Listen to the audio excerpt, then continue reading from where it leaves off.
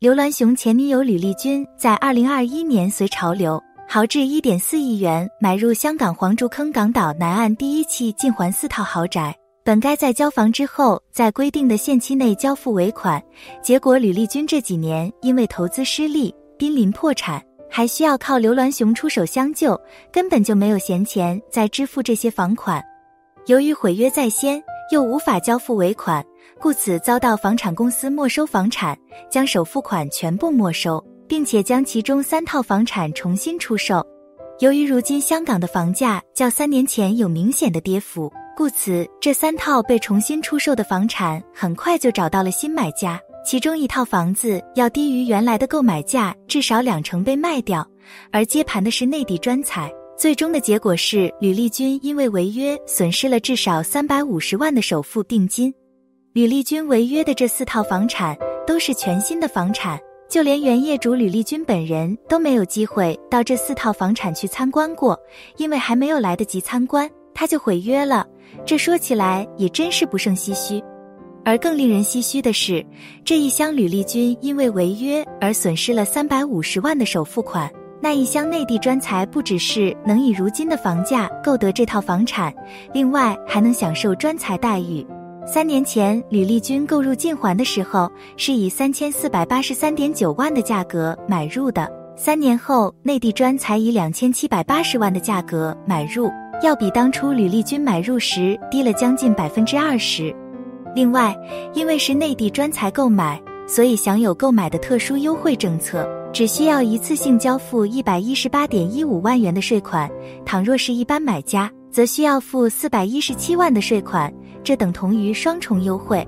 吕丽君与这位内地专才并没有任何关系。内地专才能够买到吕丽君的这套房产的前提是吕丽君无力付清房款，最终遭到房产公司没收而重新出售。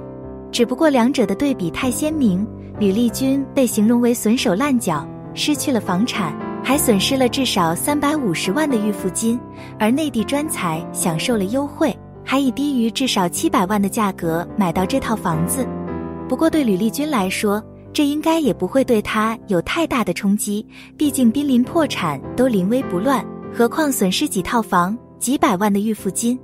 吕丽君在二零二二年之前依然过的是超级富婆的生活，坦白说，她生活中的实际开销并不大。如今所住的豪宅虽然是甘比名下的。但是刘銮雄特准两个子女与吕丽君住在此，所以有关这套房内的任何开销，包括房屋水电，他都不需要操心。另外，生活中所用到的豪车乃至游艇、直升飞机，也是刘銮雄的，名义上也是给两个子女用，所有的维修保养也不需要吕丽君掏钱。而刘銮雄与吕丽君分手后，也留出了足够的教育经费、生活费给子女。所以吕丽君根本就是沾了子女的光，她有的是闲钱进行各项投资，包括房产。吕丽君在二零二一年五月跟风投资了香港网红楼盘晋环豪宅。由于这个豪宅建在地铁站上，属于稀缺的地铁楼盘，名人们都看好发展前景，所以热卖。吕丽君当时一口气扫了四个单位，总值一点四亿元。他当时选择的是以建筑期首付的形式购买，合约内容规定先交付百分之十的首付款定金，余下的金额在开发商交房后十四天内付清，否则就会被终止交易。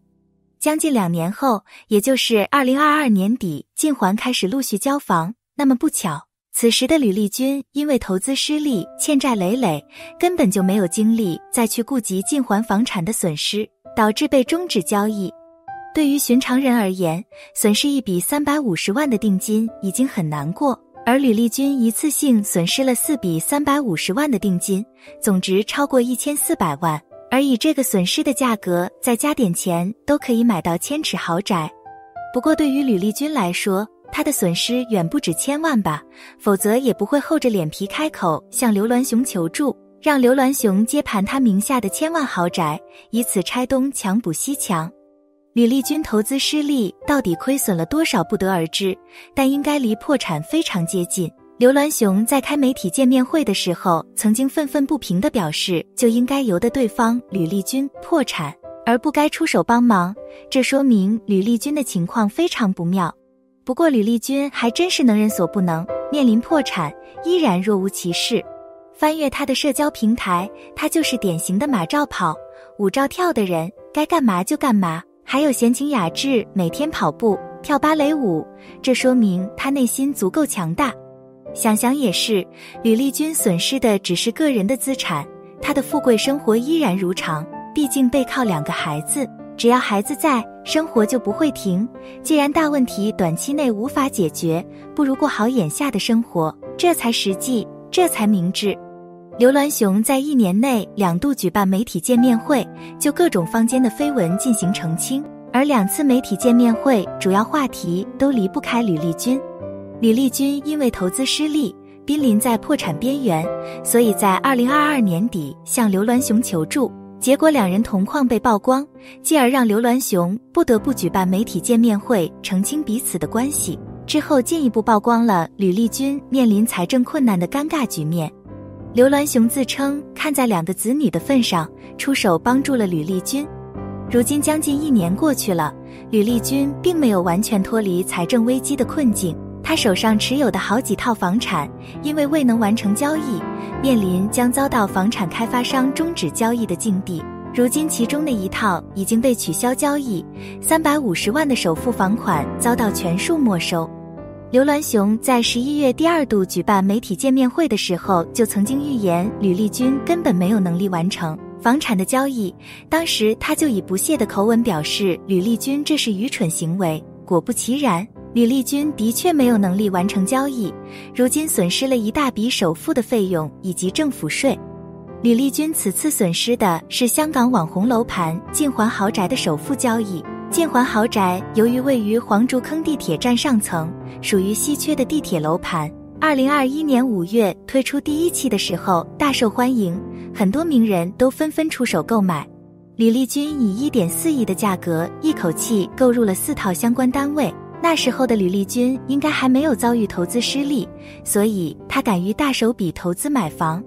吕丽君购买晋环豪宅，选择的是以建筑期付款的形式进行购买。他与建筑商签订了临时买卖合约，已在一百二十天内支付百分之十的首付款。按照约定，剩余百分之九十的房款在开发商交房后的十四天内付款，如果不能按时交付，就要被迫终止交易。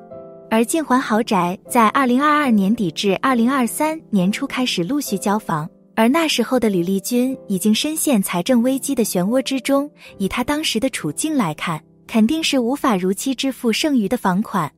如果以合约办事，吕丽君在二零二三年三月的时候就已经违约了，开发商当时就有权没收所有的首付款，并且终止交易。不过晋环豪宅的开发商并没有这么做，只是通知代理商把吕丽君持有的其中一个单位重新出售，而另外三个单位都没有终止交易，直到十二月才将其中一套以三千五百零一点三万交易进还豪宅进行了终止交易。所以，吕丽君损失了三百五十万的首付交易款。以吕丽君目前根本就不可能完成所有交易的现状来看，她最终要损失至少一千四百万的首付款，再加上百分之十五的政府税，约合两千一百万，她至少要损失三千六百万。晋环豪宅开发商没有完成终止吕丽君的四套房产的交易。不知道是不是对吕丽君还存有一丝幻想，认为她还有能力完成交易。毕竟吕丽君曾经也是身家至少二十亿的超级富婆，这是刘銮雄所能证实的。虽然他如今陷入财政危机的消息也被曝光了，但是刘銮雄也出手相助了，没准他就能渡过难关呢。殊不知道，吕丽君如今早就是千疮百孔，还要拆东墙补西墙。因为他手上贷款按揭的房产不止晋环豪宅的四套单位，还有多处的房产需要他及时填补空缺，否则他也不会迫于无奈向刘銮雄求助。如果不按时偿试房贷，他就有可能被迫宣布破产。他当然不想走到破产的境地，所以与刘銮雄签订了商业协定，让刘銮雄买下他的两套房产，直接套现一点四亿去尝试其他方面的债务。刘銮雄与吕丽君虽然已经分手，但是他对吕丽君的为人根本是了如指掌。就是认定他一事无成，毫无投资眼光。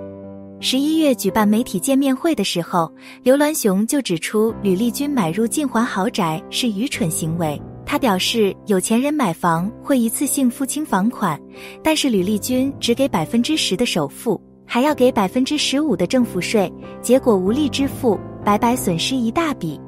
怎么说呢？吕丽君为人就是太过激进。如果她安分守己、本分做人，不去想那么多投资上的事情。他这辈子可以过得安枕无忧，毕竟手握二十亿的资产，这些钱难道还不足以让他及其子女家人过得更好？